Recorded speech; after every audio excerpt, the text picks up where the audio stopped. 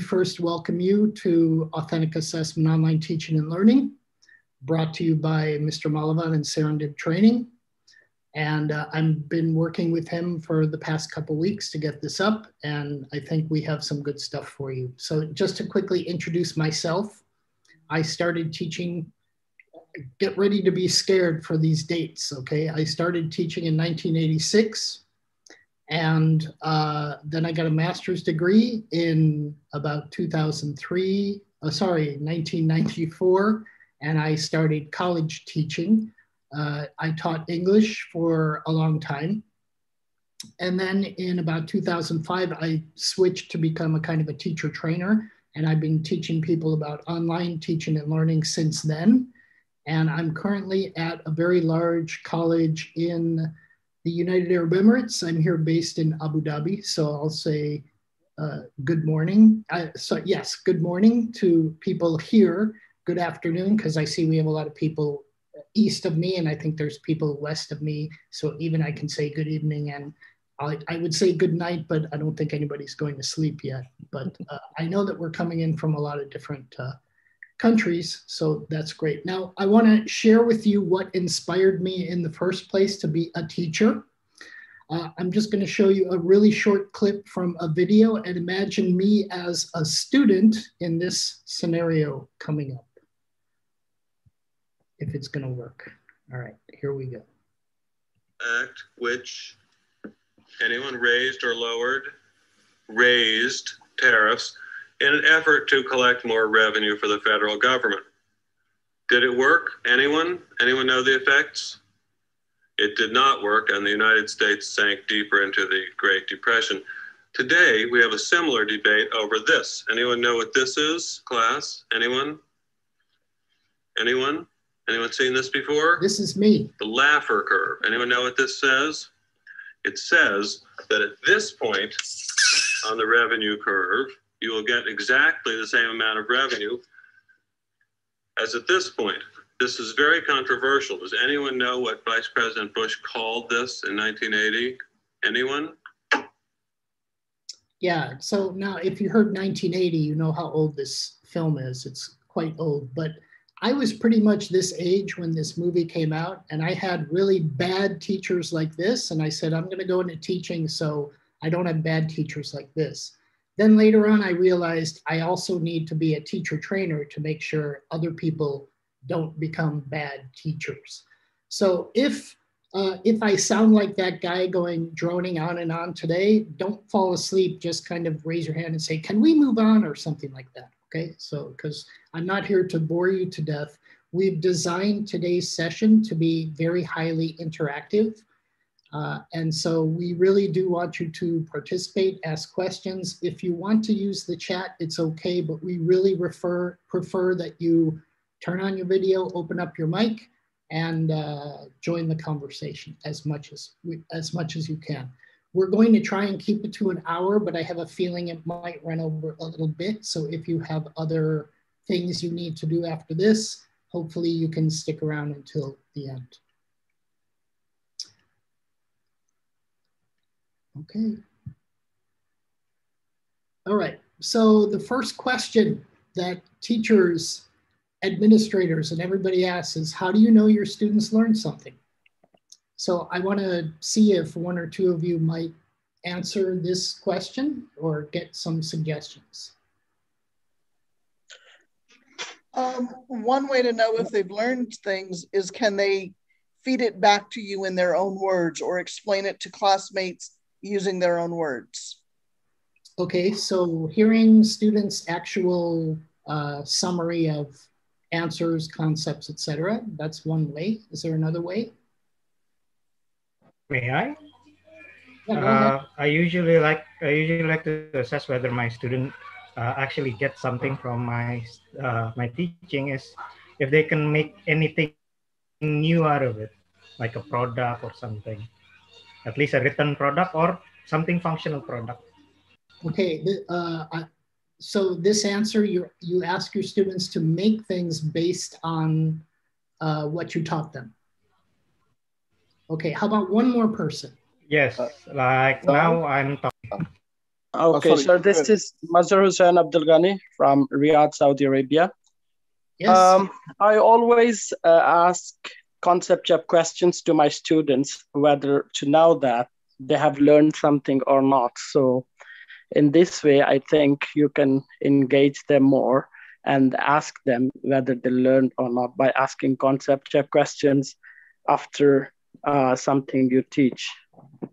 Uh, okay, so you mean asking them like open-ended questions where there's not a fixed answer, but based on a concept they have, and then listening to their words, something like that, you mean? Uh, yes, sir. Okay, great. All right, so uh, we have a lot of people today, and I would love to hear from everybody, but I want to point you to a small flaw in this question. And I would rather say that this is maybe a better question to ask because we're talking about assessment today. How can you get direct evidence that students have learned something? So if you can think about that for a second, and if I can get maybe two or three people to tell me some ways that you've been able to get direct evidence that they've learned.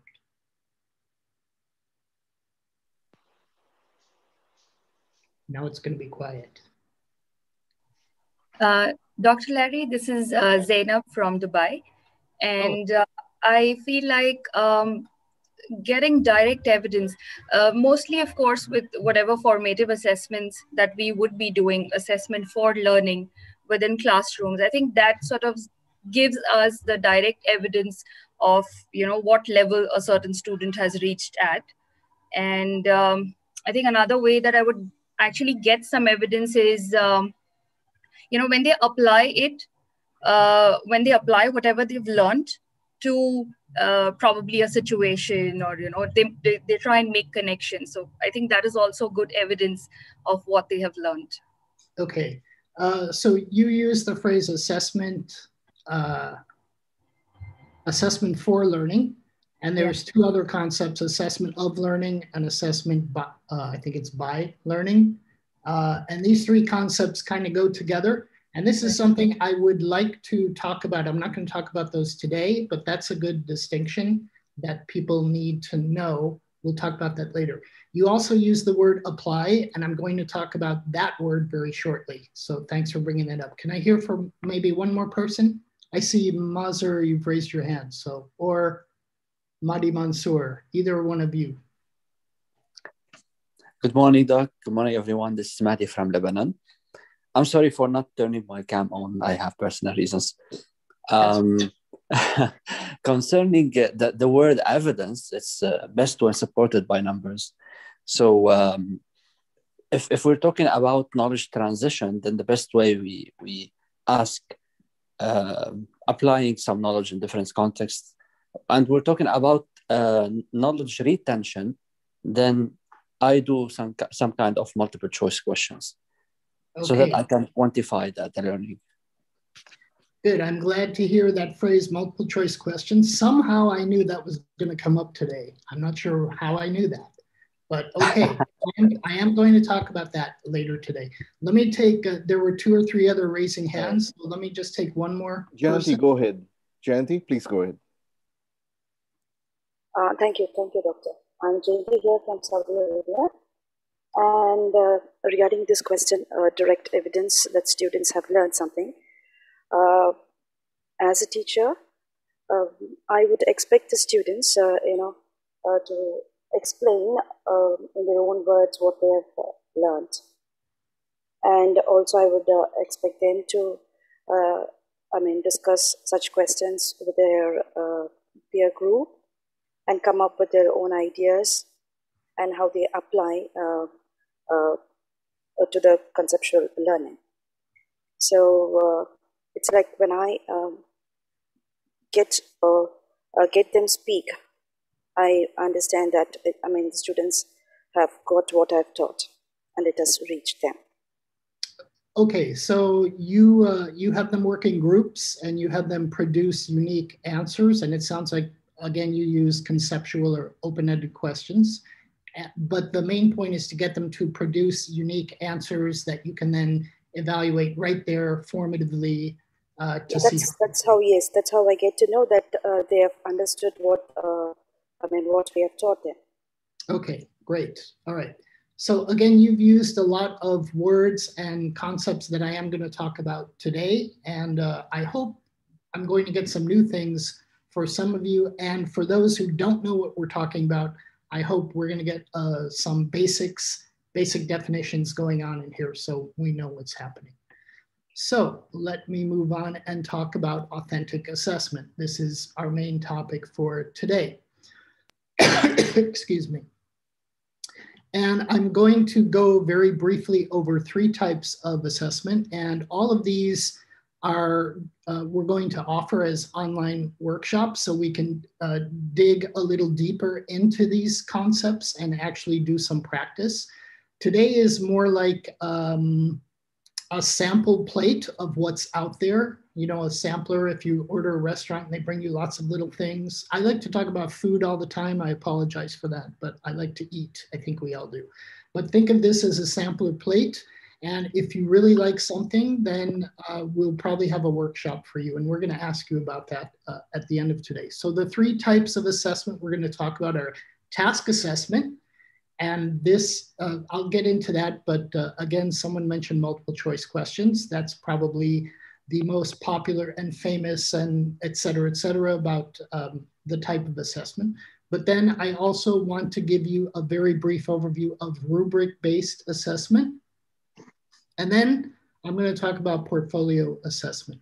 And I have little samples of all of these and a couple of stories to tell through all of these. So let me just go through this and again, if you start hearing anyone, anyone, and you start falling asleep, just let me know. Okay, but I'm trying to keep it so that that doesn't happen.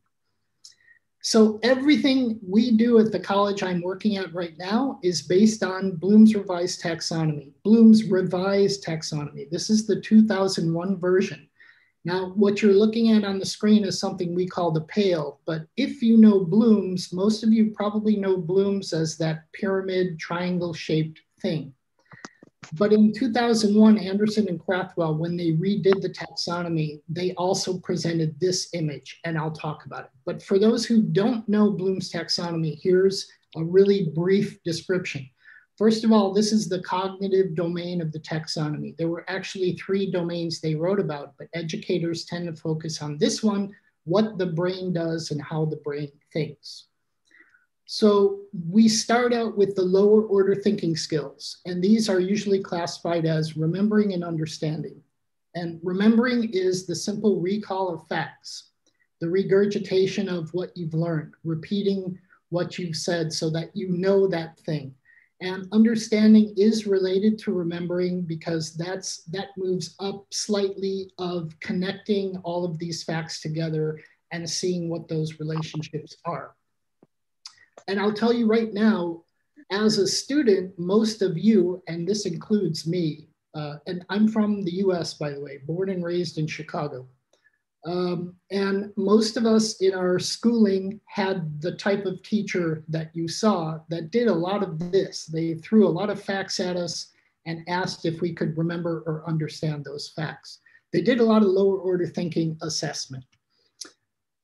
Uh, but then the mid-level of Bloom's, which is kind of the, the bridge between lower order thinking skills and higher order thinking skills is called applying. And remember, one of you uh, gave me this answer, how you need students to apply what they learn to something. And applying, I like to say, is kind of like problem solving at either its most basic or more complex or more higher order. So applying is the bridge. And then the three higher order skills, analyzing, evaluating, creating, in the old pyramid, uh, evaluating was actually at the top, but in the revised taxonomy period, creating uh, pyramid, creating is at the top. Where I work, we decided to use this model, this representation, because these higher skills are kind of equivalent to each other. They happen back and forth.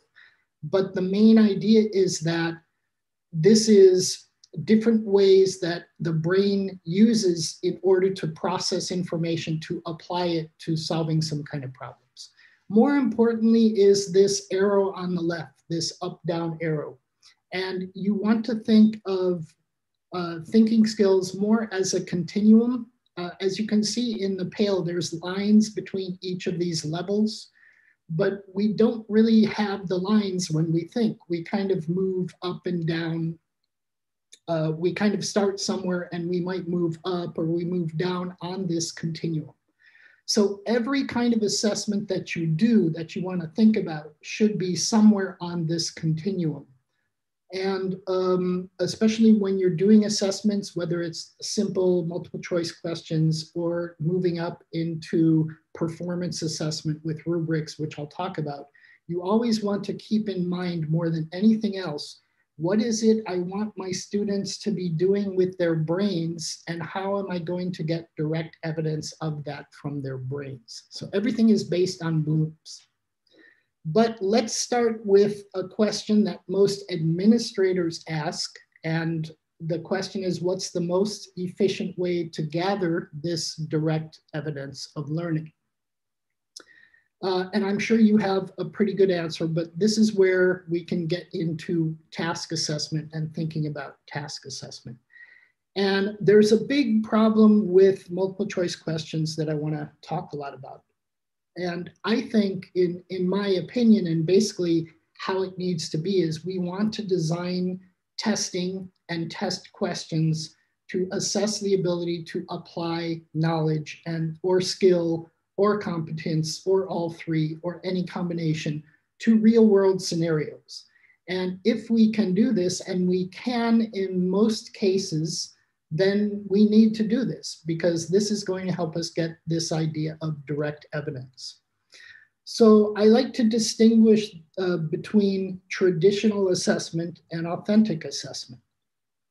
So I have about three or four things that you want to keep in mind. First of all, traditional assessment tends to be teacher structured.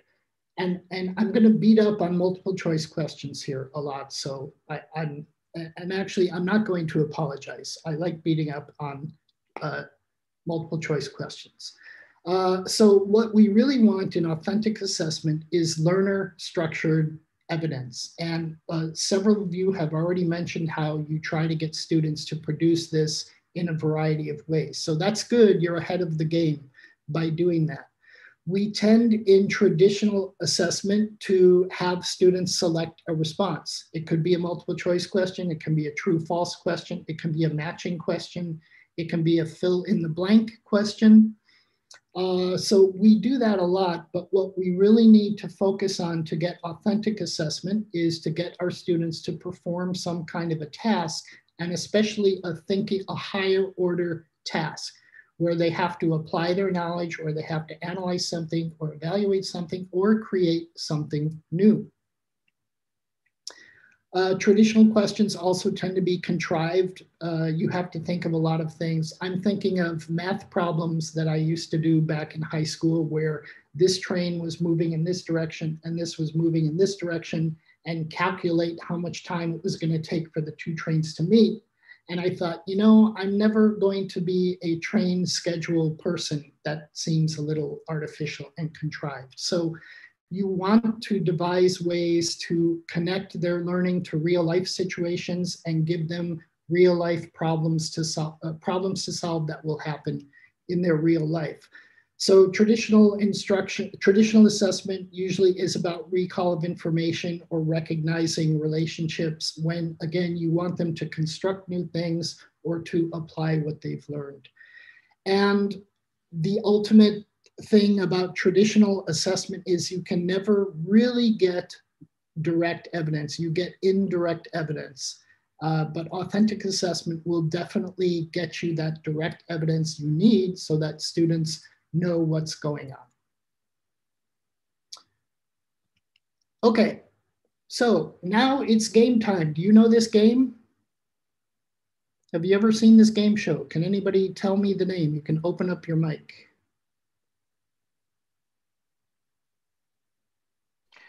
Who wants to be millionaire? Who wants to be a millionaire? Okay, hopefully, uh, I don't know, have you played this game before? Anybody?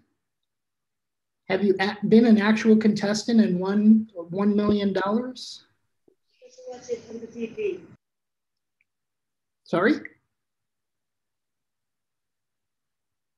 We have seen it TV. We just watch it. Okay, you've seen it on TV. Okay, well, we're going to play the game. We're going to play the million dollar question. So imagine uh, if, if you know, for those who don't know this game, a contestant like this gentleman sits down and he's asked a series of 10 questions. The first question is really easy. And then the next question gets a little more difficult, then more difficult, more difficult, all the way up until question number 10, which is the most difficult question. And if he can answer it, he can win $1 million.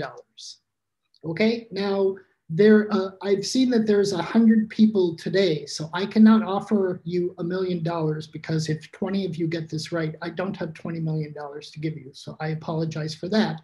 But imagine you're about to get the million dollar question. Ready? So on the next screen, I'm going to give you the $1 million question coming up. Here we go. Oh, sorry, my screen is a little uh, uh obscured. Uh, what is, I covered up my question, so I can't see it. Can somebody read this, the question for me? Sure, may I read? it? What is the name of Chicago baseball team that is less favored of the two teams? A. Bears. B. Bulls. C. Cubs. D. White Sox. Okay, so in the chat for $1 million, type your answer. Let's see how we do. Uh, I don't have my chat open either.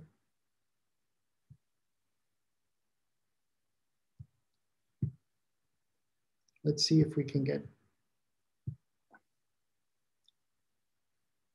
We have A, Bears, B, okay. B, White Sox, Bears. Okay. It looks like everybody has guessed at least one time. All right. So it looks like so far there's only three millionaires out there. Uh, all right.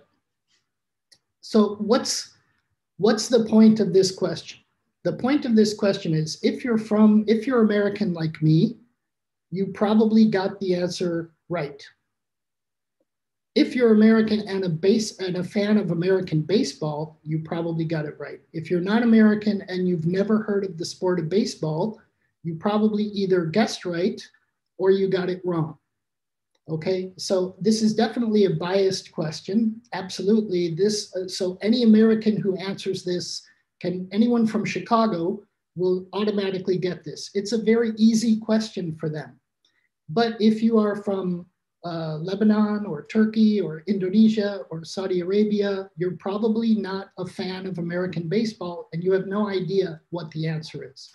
So first I'll give you the answer, which is Sorry, I'm only on one screen. The answer is the, the White Sox. Okay, well, that doesn't tell you much except that there's a Chicago team called the White Sox, and they're not as popular as the other Chicago team, which is the Cubs. By the way, are there any Cubs fans out there? If you are a fan of the Chicago Cubs, I would like to ask you to please leave this session immediately. I don't like talking to Cubs fans. Okay, yes, I'm joking. Okay, so my point of this question is very I have a very simple point. And the point is cognitive complexity does not equal difficulty. For you non-Americans out there and for you non-baseball fans out there, this is a very difficult question to answer. If you've never heard of this information before, you can't recall it, right? But if you think of Bloom's taxonomy and cognitive complexity, this question, like every question on who wants to be a millionaire, is simply asking your brain to recall information if you've heard the information before. So even though it's a difficult question in terms of the type of information it asks, depending on where you're from, we all share the same level of cognitive complexity in trying to ask this question. Have I heard this piece of information before? And if so, can I recall it and remember it?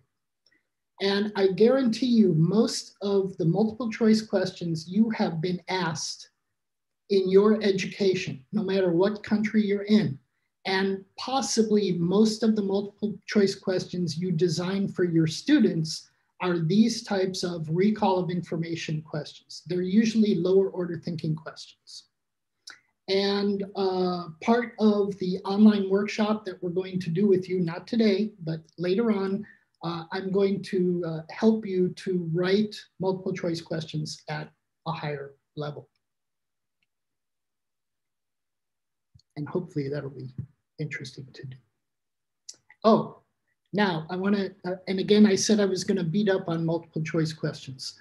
Um, I learned the secret to taking multiple choice tests in three steps. Is there anyone out there who can explain the three steps to taking a multiple choice test and scoring very high?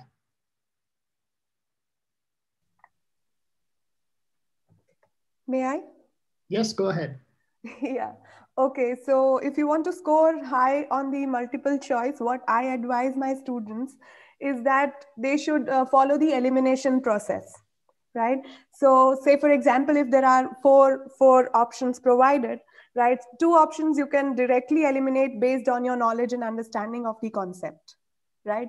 That leaves you with two options which would be very close. So there your knowledge will come into play. Yeah, you need to know thoroughly as to what the question is asking you to do, right?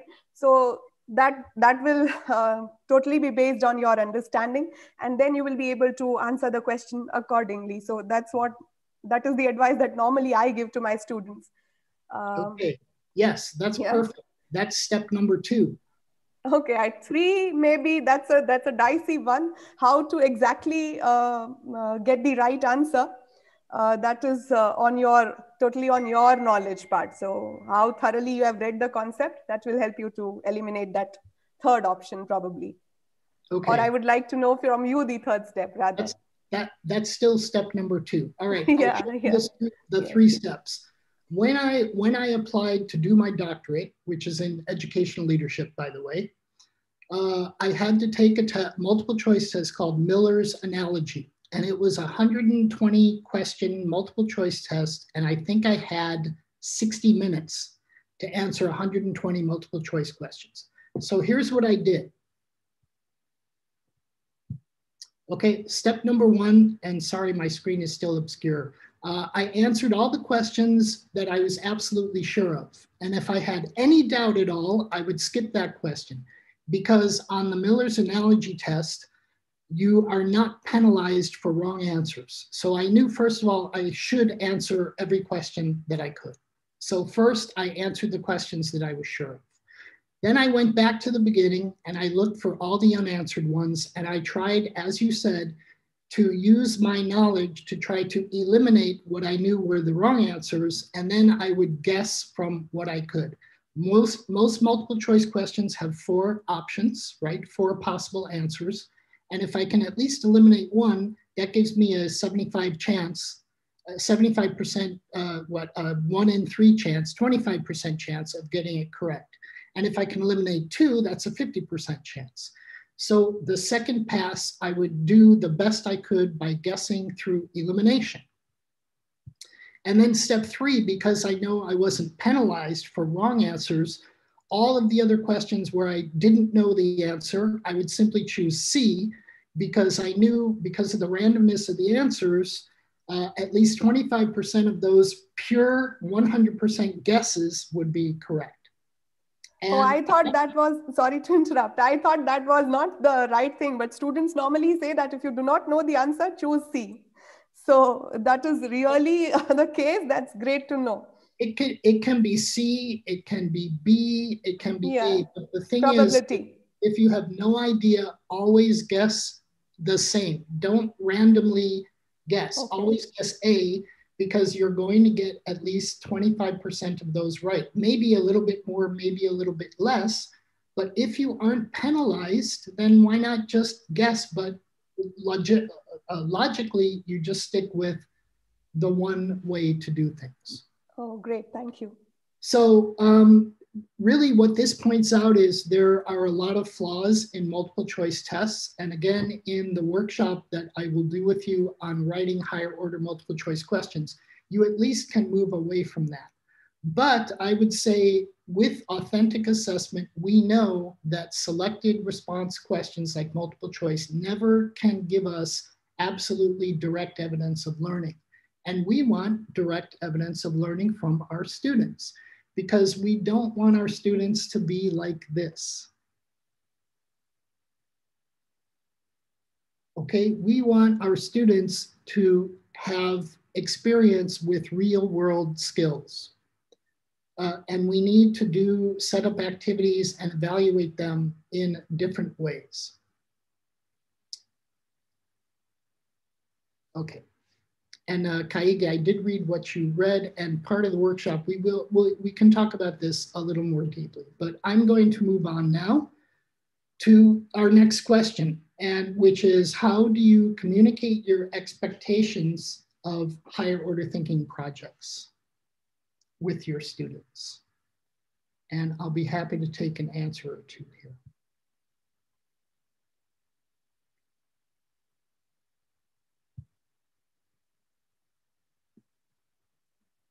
Uh, yeah, somebody wrote rubrics, so I'll just go right in. So rubric assessment is, is usually the way we communicate what we expect from students. So let me talk about rubric assessment. Uh, first, I might ask, have any of you used rubrics? And I'm thinking the answer is probably yes. Can I maybe get one example of a, how you've used rubrics with your students?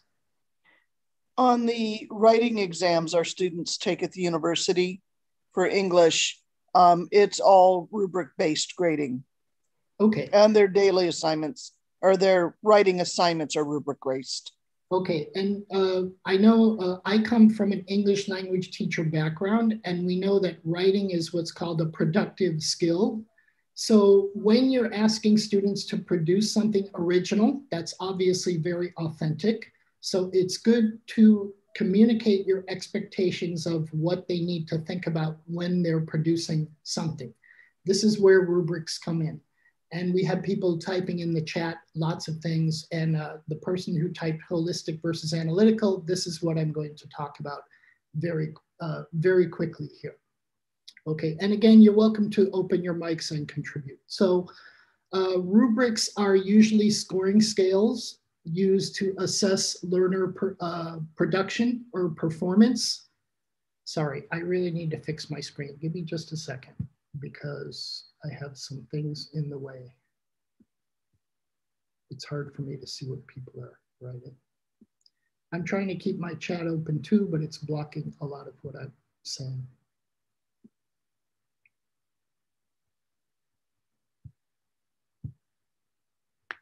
Okay, uh, so it's used to assess production or performance. And again, I won't go into details about what that means, but again, if they're writing an essay, uh, I'll just, a couple of examples I can think of is if you're having them do a project, project-based learning usually is assessed by a rubric and any kind of performance, any kind of writing. Anything they create, which is uh, that higher order thinking level in Bloom's taxonomy, can and should be assessed with a rubric, although I do have some counter arguments to that, which I could present in the workshop that we'll do on rubric writing. Uh, and the, there are actually several different types of rubrics, but the most common rubrics are two types. And these two types answer these two questions. The first type of rubric asks, how well are my learners doing?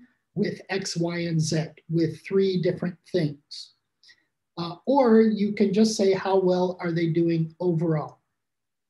And um, this first one, this first question, somebody, uh, can you tell me the name of this type of rubric?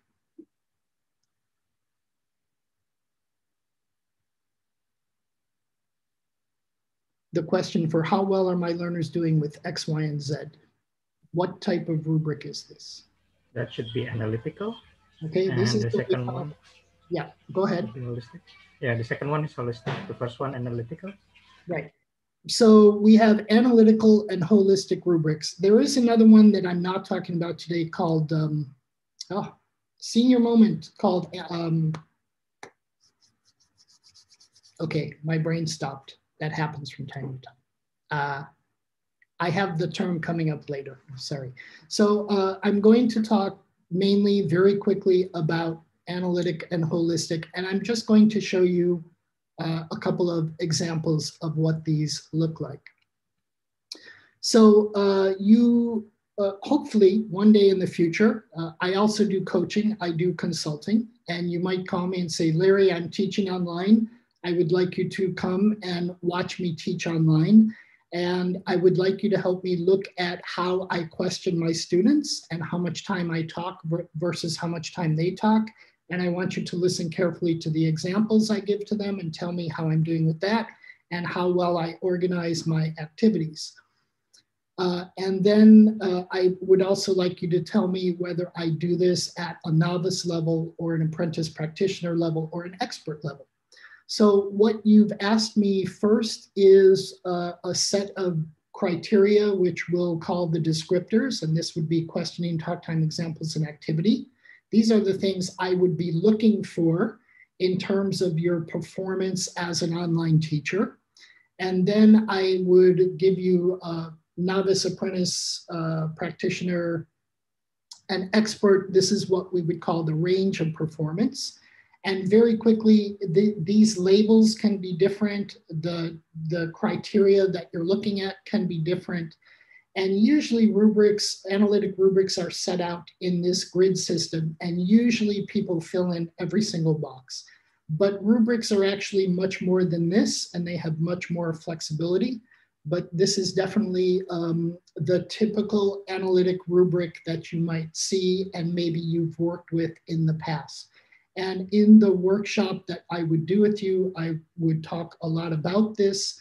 We use rubrics uh, in a lot of ways, even with the teachers we're training. My main job at the college I work at right now is a professional development specialist.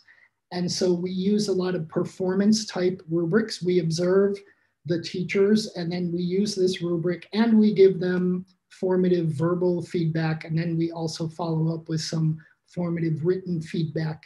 Uh, so you can use this basic rubric for a lot of things, but if you're looking especially to get direct evidence from your students, uh, based on higher order thinking skills, you'll want to think about having them performing or creating something along a set of criteria that you give to them so they know how to prepare and then you can score them on that. Uh, I, I have an example that I'm that I will show you in the online workshop that we that I actually use with the teachers I work with at the college I'm at. And the college I'm at, we have 1,200 teachers. So I have to do a lot of rubric marking.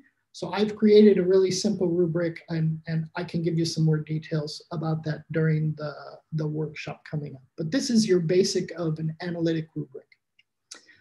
Uh, now, a lot of what I wanted to talk about today was teaching and learning as an online teacher. So I would like you, if you can, here in the chat, because we want to check out your names.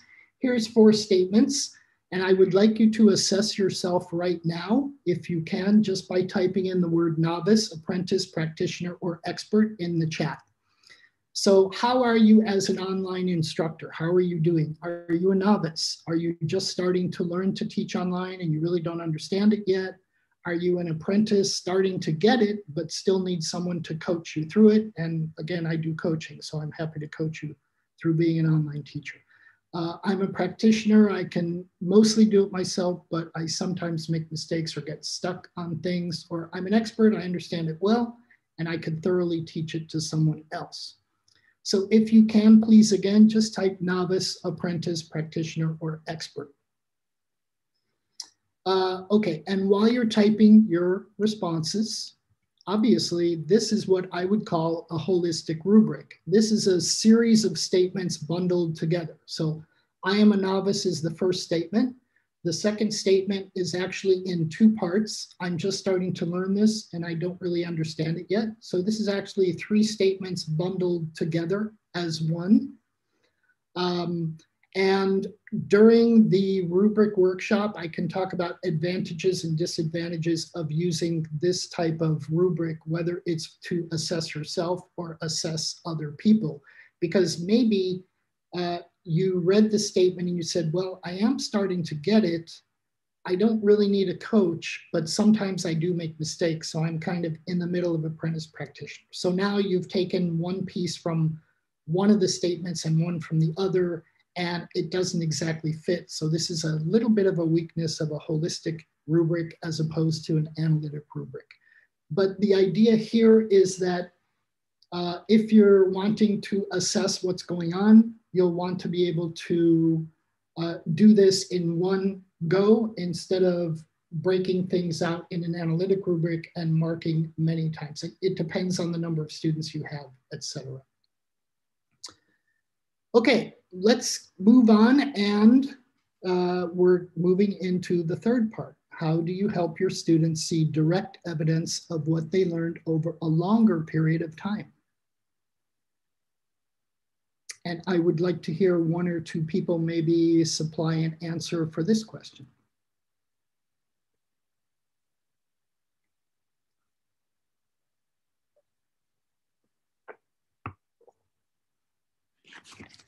Anyone brave out there?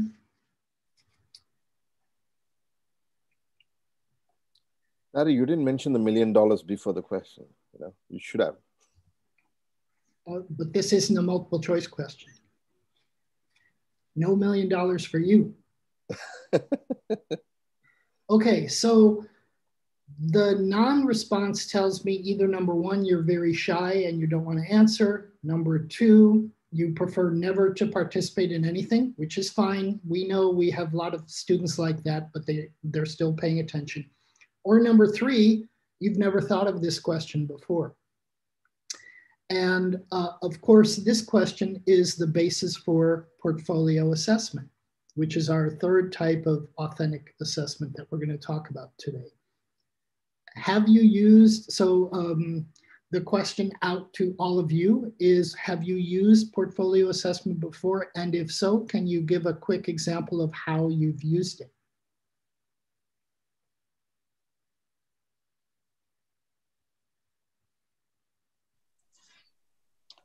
We've, um, when I was doing more K 12 education, in English classes, I would have kids build a portfolio, uh, especially of their writing. So they would we do exercises where they would learn about the type of writing we needed to do, build the grammar that they needed for it. Um, and they would keep all of these together and work towards a final essay that they created. And they could see the process then of going from beginning to end in writing, because the writing also would include brainstorming, drafting, revising, editing, all of the different steps. And so they built from step one to final step and then they would build keep all of their essays then bundled so that they could see all of the different types of writing they were learning okay that is a perfect example of one of the three types of portfolio i'm about to describe can someone else give me a way they've used portfolios in a different way?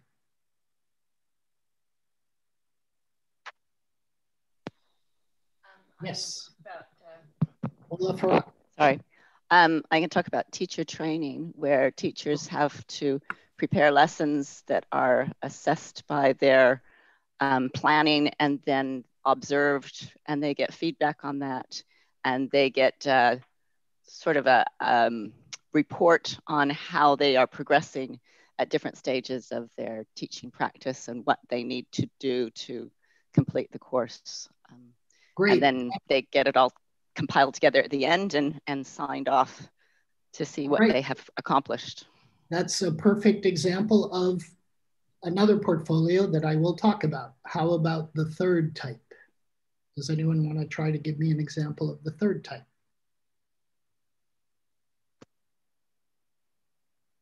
Yeah, Felicia, I see your hand is raised.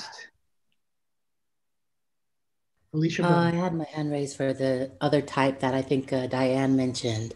Oh. Um, and we did it digitally. So uh, during one of my humanities classes, the students were um, given the task to create a website using Google Sites um, of the concepts that we learned about sustainability and um, technology. We had two units, and they were supposed to use um, the, uh, create a website to display their knowledge about those concepts. And it was over the course of the semester. So it was their final project for the semester, and it was cross curricular with their um, uh, IT class that they were taking. Okay, so what was in the portfolio exactly? So it was a website that they were supposed to create about the topics that we learned in, in humanities. So we learned about um, sea levels rising, we learned about deforestation, um, we learned about the general topic of sustainability and how it includes recycling, um, hydroponics and aquaponics, okay. these topics. So they were supposed to um, put together a website to display their knowledge about those specific topics that we covered over the entire semester. So for example, they might have had one page for each of those topics that they worked on and they revised and you evaluated Correct. them and then they changed it to make it the best possible thing that it could be. Correct, correct. Okay, that's our third type. Perfect. And um, I don't uh, mention, I am going to talk about some online uh, technology that you can use for all of these things. That's my last slide. Um, and I did not mention Google Sites. You said Google Sites, right? Yes, Google Sites. Okay, so I it's don't really user friendly for the students, especially if they have sure. that domain. It's basically sure. point and click, and everything yeah. is explainable there are pluses and minuses to Google Sites. Uh, a lot of public places don't want things out on the web for anyone to see. And I will talk about that again in my last slide. But uh, your examples have covered all three of the types of portfolio. So let me just talk about these for a second. Uh, the first type, which I think Diane mentioned, is what I call a growth portfolio, where you and again, she said that her students do some writing and drafting, and all of that goes into the portfolio. And over time, they can see how they've learned all these concepts, practice them, and they have, uh, they're able to look at the entire progress of their ability to write better. So that's what we call a growth portfolio. And I'm going to give you a different example in just a second. And uh, Felicia then talked about what I would call a showcase or product type portfolio. And this is where you take the best work done during a term and you display it out there in a portfolio for people to see. And uh, I'm sorry I uh, missed your name of the third person who said that teachers write up lesson plans and uh, those build up over time. And then it's decided if those plans are good, they can move on. And this is kind of an evaluation type of portfolio or what you might call diagnostic. By, by the way, diagnostic was the other kind of rubric that my old brain couldn't think of at the time. So I didn't talk about diagnostic rubrics today, and I might, during a workshop, I might touch on those a little bit. But during the portfolio workshop, we'll go into all three of these types and share ideas, and even try to create a basic outline of what might go into a growth portfolio or what might go into a showcase or what might go into evaluation. And all of these three types of portfolios depend on a series of questions that you need to ask. And I'm not going to read these questions. I'm not going to go over these questions, but I am going to be quiet for about five, for 10 seconds so you can read all of these questions, okay?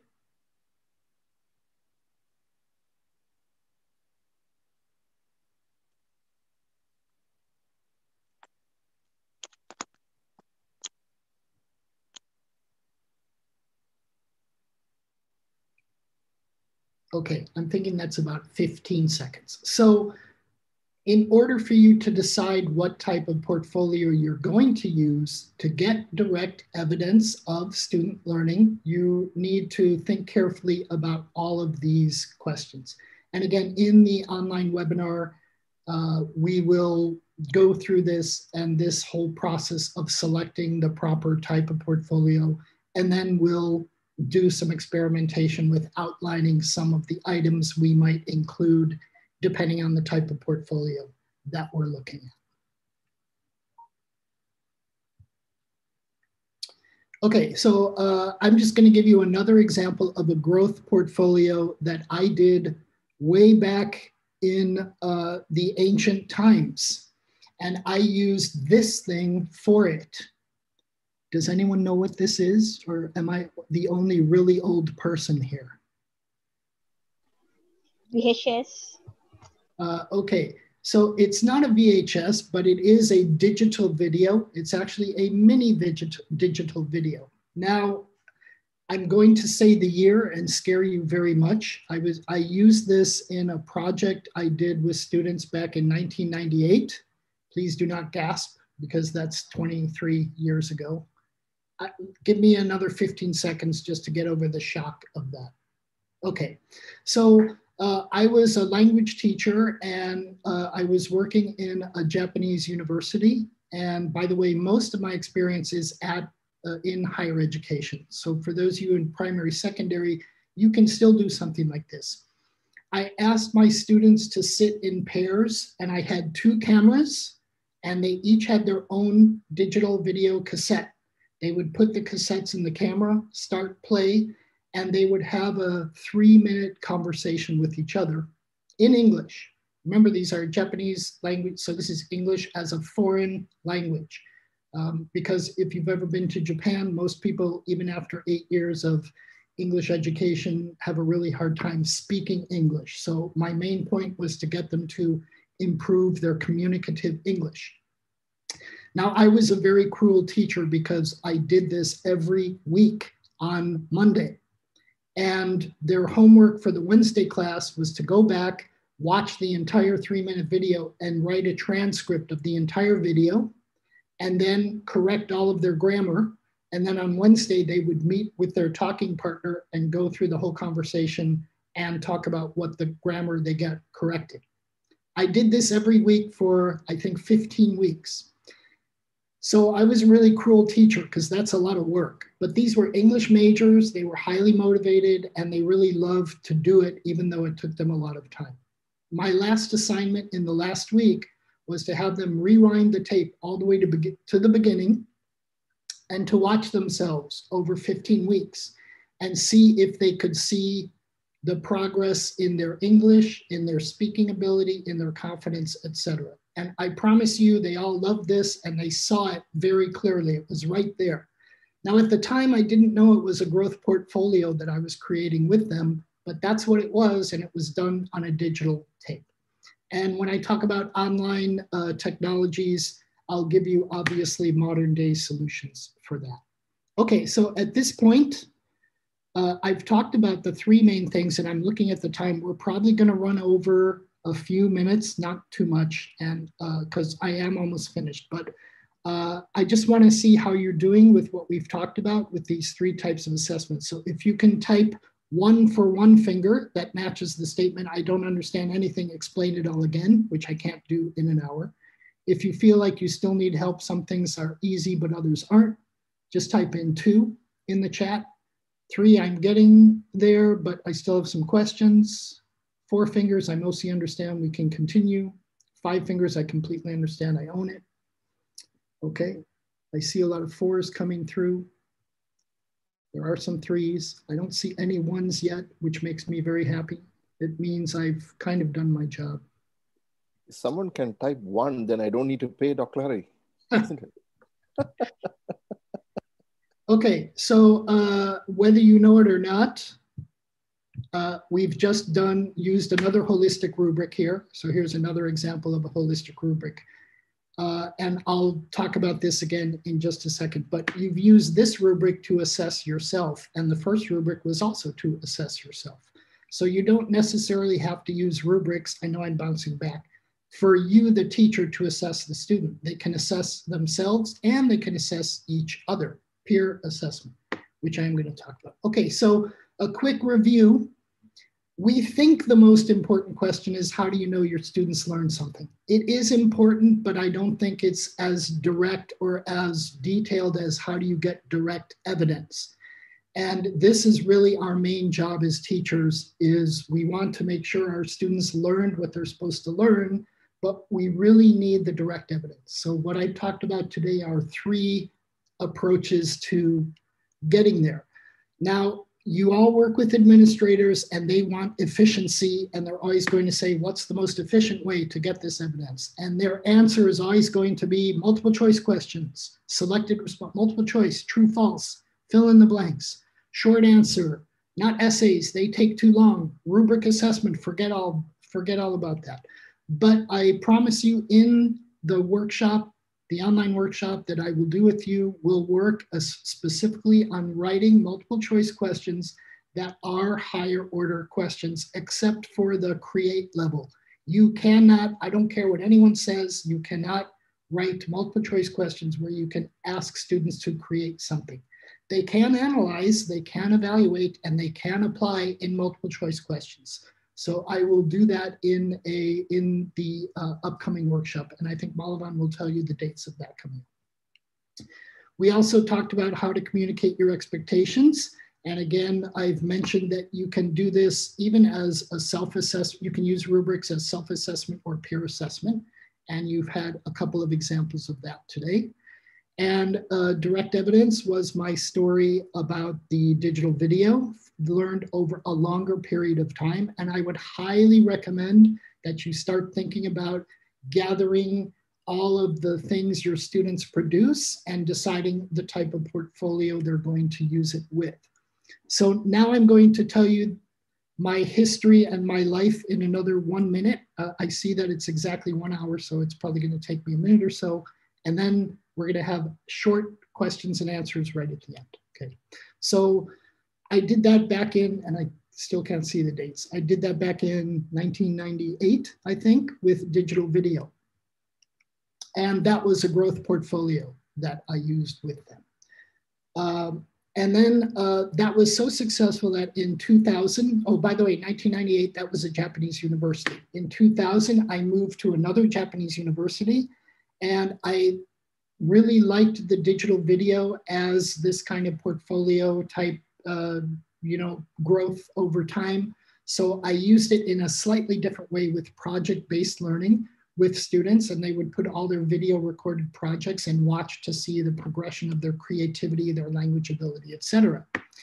These days, of course, we have your smartphones and your smart devices and lots of different websites, including Google Sites, which I didn't include. So Vimeo and YouTube are very popular places where students can upload their videos.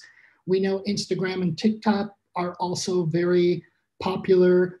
And there is one technology that's fairly new called Flipgrid, which we're using at our college. I'm experimenting with it with my teachers and really kind of pushing that on them because it's a real good way for students to record themselves and for teachers to record formative or summative assessment right back at them. But it's a performance and it can be a, a scored on a rubric. And actually, they do have built-in rubric system there. It's a very simple system, but Flipgrid I would highly recommend to look into. Uh, it's actually owned by Microsoft, so um, it's a little strange how that works out, but it, it's there and it exists. Now in 2004, I returned to the US and I started teaching at a university and my main job was not to be a teacher, but to be a teacher trainer and to teach teachers on using portfolios. And again, my screen is blocked, but hopefully you can see LiveText down in the lower right corner. Can you see that? Yes, okay.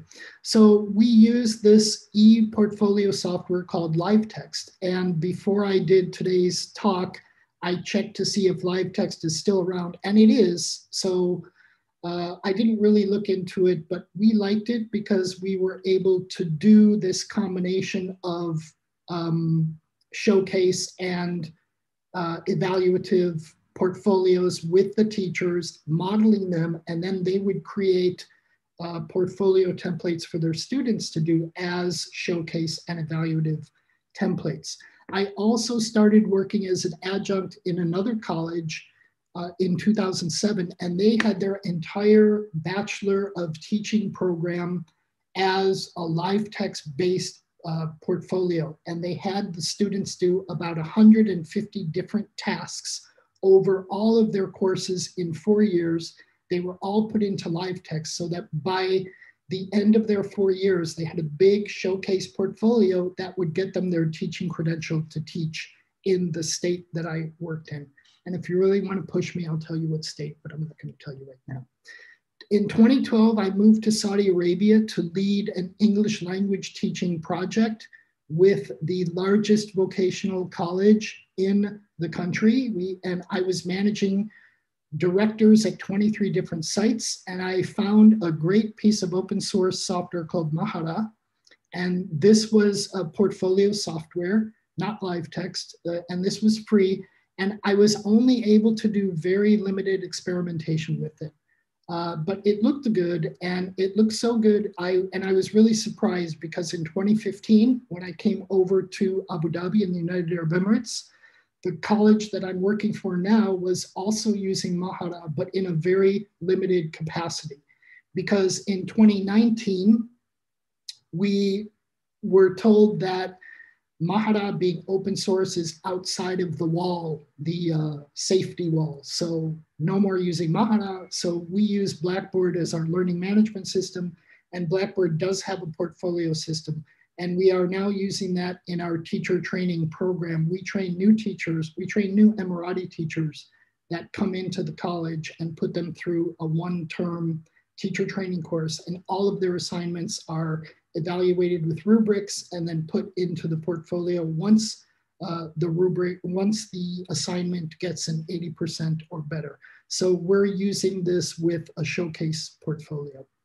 Three other pieces of technology that you can and should use for assessment. Number one is Nearpod. I wanted to do my presentation on Nearpod today, but uh, Malavan said no Nearpod. So, okay, I'm just doing slides and showing you slides.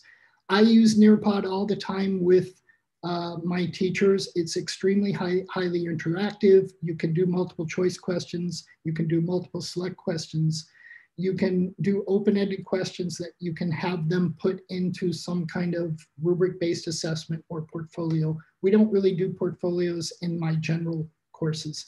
And then of course, the last two, which are uh, recreations of Who Wants to Be a Millionaire, you have Kahoot and you have Quizizz. These are also multiple choice, gamified multiple choice questions.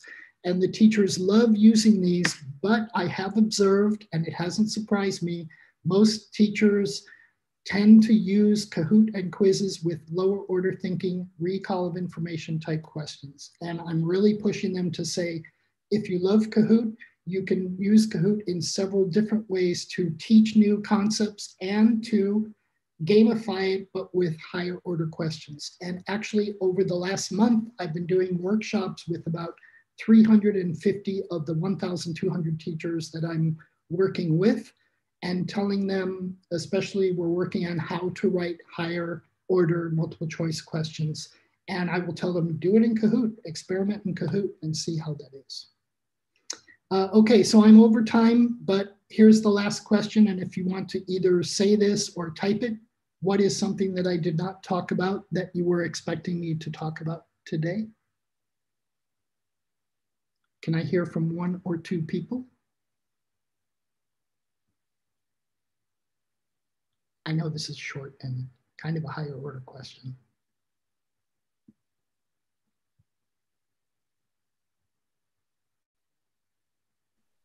Okay, just because of the time, I'm just going to cut myself and say, please do think about this. And if you have some suggestions, please send it to uh, Malavan and we're going to look over some of these things and talk more about this too, okay?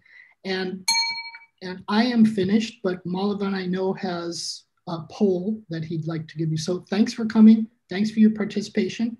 Apologies for running over by eight minutes, but actually I did have some technical problems in the beginning, so I started late. So I kind of did it in an hour. Thanks for listening. Thanks for your participation. Good morning, good afternoon, good evening, and good night to those of you who are now going to sleep, if you're going to sleep. Malavan. Thanks a lot, Larry. Thanks a lot. Um, thank you very much for joining. We are not done yet, don't worry.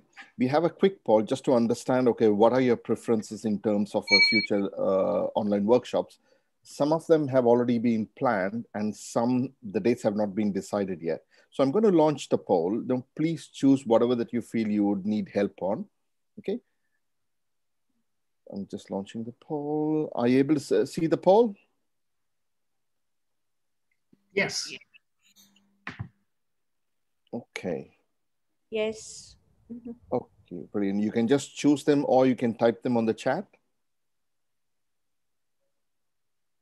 So this is the part where my company makes money.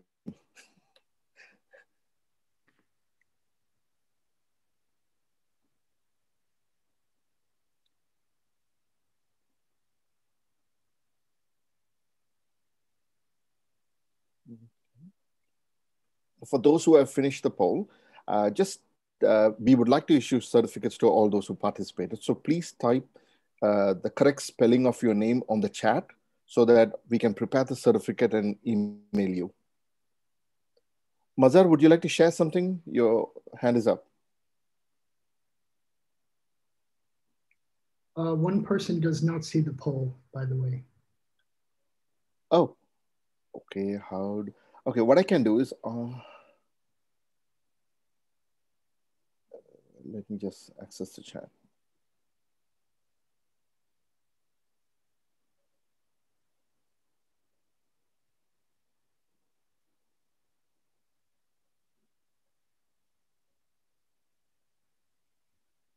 Can I know who was unable to see the poll? Uh, there's also another question. How are we going to be informed about future workshops? not to worry. We are very good in that area, but we spam people's inboxes. Don't worry. Uh, probably by um, tomorrow or the day after, we should send you an email. Uh, we will send you, if you have provided the name for your certificate, we'll attach the certificate, number one. Number two, we'll also send you the recording of today's session. Uh, the third is the slides which uh, Larry used. The fourth, we'll also uh, list the pro upcoming workshops. Uh, we are starting the project uh, based learning workshop next week. That's by Dr. Said Benamar. Uh, so I'll attach the, the brochure link for that. For uh, the workshops by Dr. Larry, we should be able to finalize by today, sorry, by tomorrow, and we'll include those dates as well. Okay.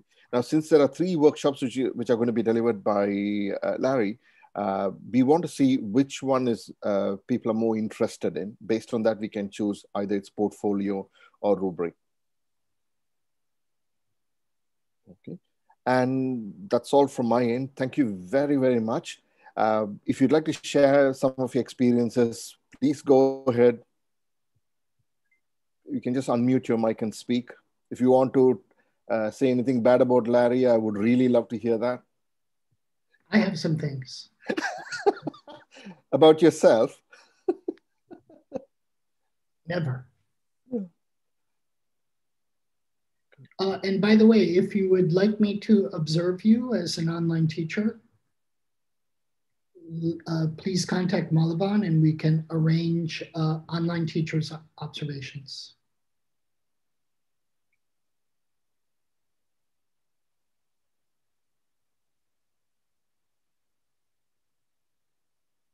Uh, the thing that made me the happiest today, by the way, is that people from so many different countries came uh, and were able to see things. I'm really very curious about what your situation is in your country in terms of assessment, especially how you work with your leadership. Because again, my doctorate is in ed leadership. So I'm interested to see how you talk with your leadership, what they expect, and how they know the best way to, in terms of assessment, how they know the best way to get direct evidence that students have learned what they're supposed to be learning, and how you might convince them that multiple choice is efficient, but never a good direct way of getting evidence. So again, if you want to uh, write to Malavan, I think he'll give you my email address. You can write to me and we can arrange things about that too. Uh, would anyone like to share before we close the session? Larry may give a million dollars away. It will be a million of Balaban's dollars. okay, okay. Monopoly. Monopoly money. Yes. good, good. Uh, if nothing else, thank you very much. We really enjoyed, and we, it's very interesting that most of the participants were uh, were not from Qatar, because in uh, we are based in Qatar, and a lot of the participants are usually from Qatar. Quite interesting, very interesting. I can I can tell you why. Because Don't tell me it's because it is coming. I no, just it, water. It's because I went to the Asian Final Cups hosted here in Abu Dhabi, and Qatar beat my team, Japan. And I was very unhappy to see my team lose in the finals. Ah, okay, very good, very good. You, when I see you, I'm going to be boxing you.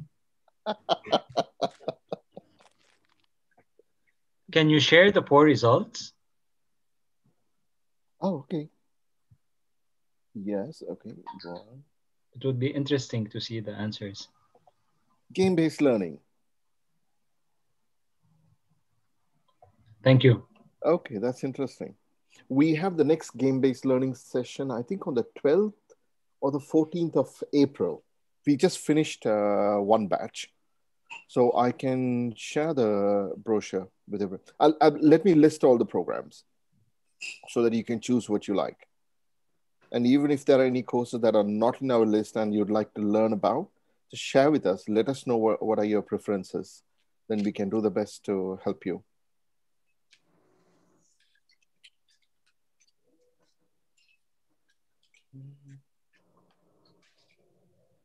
Uh, again, again, if you still have any comments or anything else you want to talk about now, I, I'm willing to stick around for as long as we need to. Yes.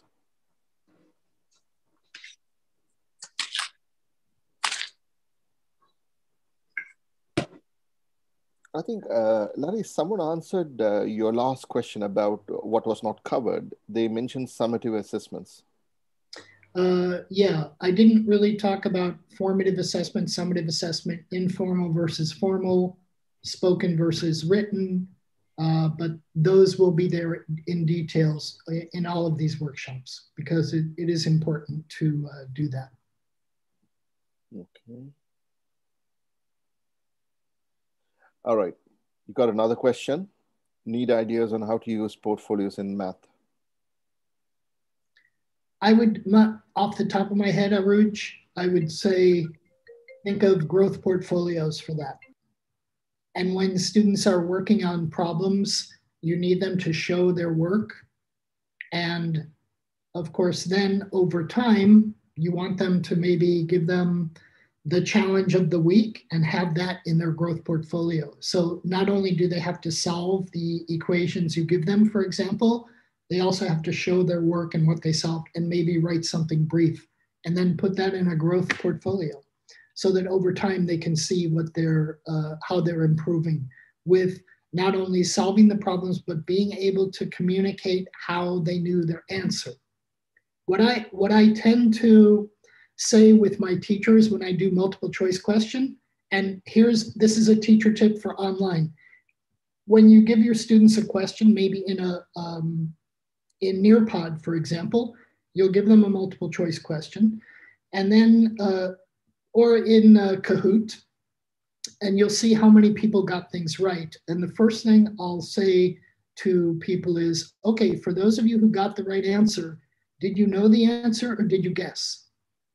Because you really don't have direct evidence if they really knew it or not. And teachers are pretty honest. And I have had teachers saying, I thought I knew, but I really guessed in the end that's good. That's good to get that response because again, assessment is all about getting direct evidence. So ask them, here's a multiple choice question. Oh, you got the right answer. Did you know this answer or did you guess it? And you can follow it up as can you explain how you came to knowing this is the right answer? So any way you can get uh, explanations or richer, deeper data into how people are answering questions can tell you if they've learned what you want them to learn.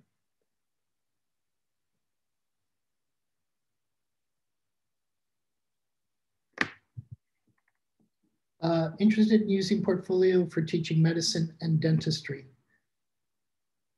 I, I think there's a lot of uh, approaches for that. again, I think I would use growth portfolios and in the same way with math, give them um, some scenario-based challenges. Uh, and again, this is something that I would do in the task-based workshop, presenting uh, um, scenario-based questions that can be answered in more details or can be answered if shaped as multiple choice. Maybe uh, uh, doing case a series of case studies that then go into a growth portfolio where maybe after you do six case studies, you take a look at them to go back and see the progression of their thinking and their knowledge and how that's contributed to their decision making. Uh, there, there's a lot of approaches to that. But over time, uh, doing in medicine and dentistry over time, I think it's important for students to see how they're progressing. So that tells me growth portfolio is, is a good approach.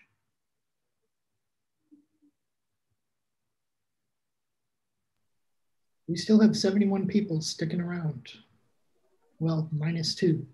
Oh, we forgot to tell them that we are not providing uh, breakfast or lunch. That's right. Yeah. Uh, sorry, doctor. okay, sorry, doctor. Regarding your growth uh, portfolio, or, yes. or, or, should I say that we should have one uh, specific platform for us to gather all the portfolios? For example, I'm teaching English for my high school students, and when I'm teaching for, for example, for writing skill, okay, usually I will, uh, I will mm, teach them according to the process. They need to do the outline, the draft, and then they are writing. Um, before this, I always use the examination pad or based on the exercise book, but because now it is online learning, so I start to use certain uh, uh, applications like Canva, and then I start to use Flipgrid also. So I think that one can we use, uh, we can um, known as growth portfolio, I think. Uh, my answer to that is you, you don't have to limit yourself to one type of portfolio. And I would even say maybe in a writing class, you definitely want a growth portfolio as um, the, um, the teacher from Jeddah uh, talked about the, that whole process and the things that she had her students record, but then also have a showcase portfolio of their best work. Mm-hmm. Uh, because both of, the, both of those types of portfolios, you're going to assess on a task level. You're going to give them a piece of writing, you're going to assess that, and then you're going to put that in the portfolio. And then the next stage, and the next stage, and the next stage. Maybe you're going to have them do a mind map. That mind map goes in the growth portfolio. But then their best work, it might be at the end, okay, you're going to, uh, everybody's going to give a presentation of their three best pieces of writing. And it could be their favorite piece or the one they know is technically the best or whatever and that's going to be their mini growth, their mini um, showcase portfolio. Why not? Hmm. Okay, thank you. Okay. Uh, which type of authentic assessment do you think needs more academic research? Um, oh, sorry, authentic, yeah, authentic assessment. Well, again, I know from my college, the biggest problem to solve is how do you create valid and reliable um, summative assessments? And how do you create them in such a way that the learning outcomes are at an appropriate level of cognitive complexity?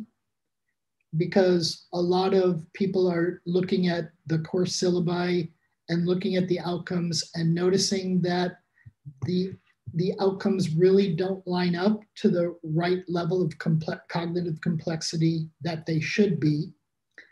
As an example, I usually say to my teachers, if you're teaching a first and second, first or second year course, most of the outcomes should be, should be, not must be, but should be at lower order thinking. But not limited to lower order. Even first year, first semester students need to start doing creative thinking. They need to start problem solving as soon as possible, but they'll need a lot of practice. So just sprinkle that in. But you don't want first year courses or second year courses to be heavy in problem solving.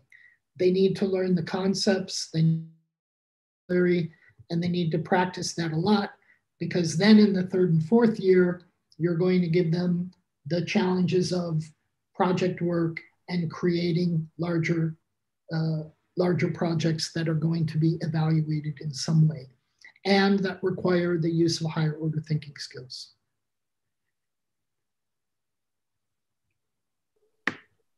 One more question on the chat, uh, like, yeah, from while. Uh, I let my students reflect on what they've learned in a lesson. Is this as a tool of assessment? Uh, reflection is higher order thinking, right? It's analysis, it's evaluation, and it's creation all at once. And it's especially metacognitive, being self aware of what they've learned. And that's a whole other.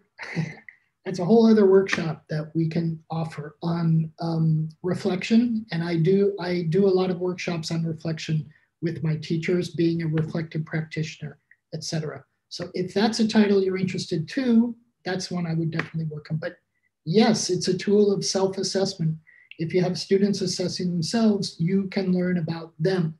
You're getting more direct evidence from them. So that's good.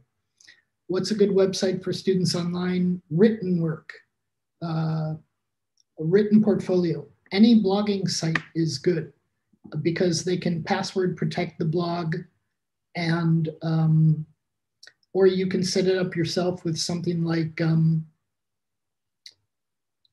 WordPress. WordPress is usually the most popular blogging software out there. So go to WordPress. I don't think it's WordPress.com. It might be WordPress.org. Uh, go there and see about how you set that up. I think Google Sites also might allow that. If you have a learning management system like Blackboard, Blackboard also has a blogging tool, although I don't really like it. Like it. There's a lot about Blackboard. No, I'm not going to start ragging on Blackboard. Blackboard is adequate at what it does. Let me just say that. Okay, Blackboard people, please do not give me a lawsuit. Please don't sue me. I'm the one who's going to be sued, Larry, not you. oh, yes. Blackboard, you're great. You're the best tool ever. I recommend it to everybody. Are you a school administrator? Get it now. Okay, we're covered. Okay. Uh, so Larry, we are at the end. We don't have any other questions. Okay. So let's wind up. Thank you very much, everyone. Have a great day. Have a safe day. Thanks a lot. Take care. Thank you. I'm going to lunch now because it's noon here. Most of you oh, are going yes. to sleep though, right? I'm going for breakfast. All right. Bye, everybody. No, man, take care. Bye. Okay. Thank you, Malavan. Hey, you're welcome. See you on the next one. Oh, yeah.